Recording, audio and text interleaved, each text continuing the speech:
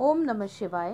Practice work के अंतर्गत आज दो बैलों की कथा इस पाठ से अभ्यास कार्य दिया जा रहा है। अभ्यास कार्य करने से पहले आप पाठ अवश्य पढ़ेंगे।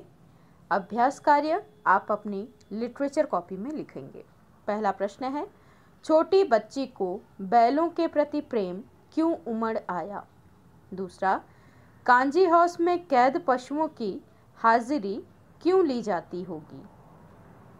तीसरा, दो बैलों की कथा इस पाठ में कौन कौन से नीति विषयक मूल्य उभर कर सामने आए हैं।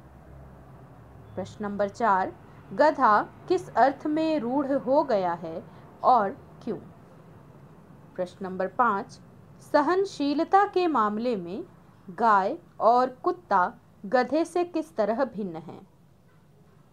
छठा प्रश्न, अफ्रीका और अमेरिका में भारतीयों की दुर्दशा का क्या कारण है?